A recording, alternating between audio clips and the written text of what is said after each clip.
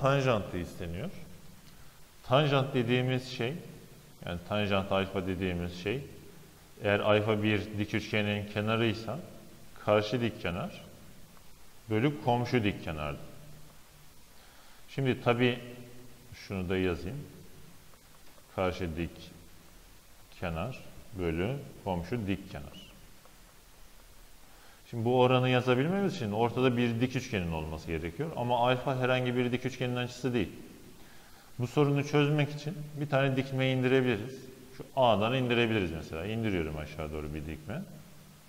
Şöyle. Bu açı 90 derece. Artık şuradaki üçgeni kullanabiliriz. Şu sarıya boyadığım üçgen bir dik üçgen. Eğer biz bu dik üçgenin şu karşı dik kenarı burası olacak. Karşı dik kenarı ve şuradaki komşu dik kenarını bulursak oranlayıp tanjantı hesaplayabiliriz. O zaman bizim hedefimiz şu dikme uzunluğuyla bu aradaki parçanın uzunluğunu bulmak. Bir şey verilmiş yan tarafta ona bakalım. 5BD 3DC verilmiş. İsimlendirme yapabiliriz. Karşı taraftaki sayıları kullanacağız. Yani BD'ye isim vereceksek 3'ü kullanacağız. BD'miz 3K olur. DC'ye isim verirken 5'i kullanırız. DC'miz de 5K olur. Şimdi BD'ye yazıyorum. BD'miz 3K, DC'miz de 5K. Şöyle 5K.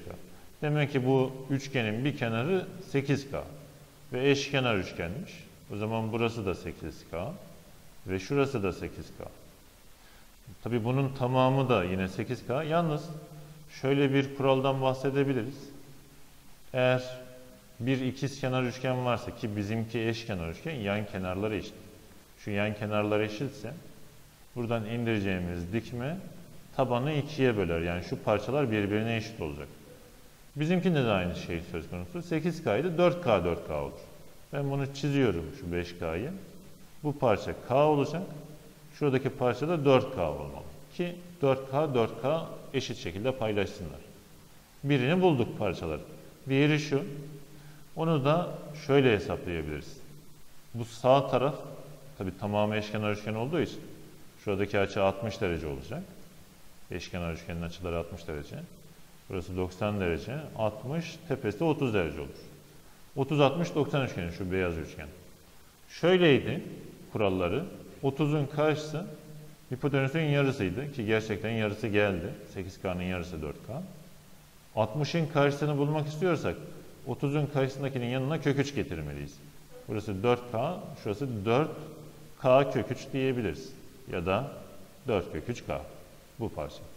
Şimdi gelelim oranımıza. Bizim tanjantımız karşı dik kenar oluyordu. Alfamız şurada. Karşı dik kenarı 4K kök 3. Komşu dik kenarı K. Sadeleştiririz K'ları. O halde bizim aradığımız tanjant alfa 4 kök 3 olur.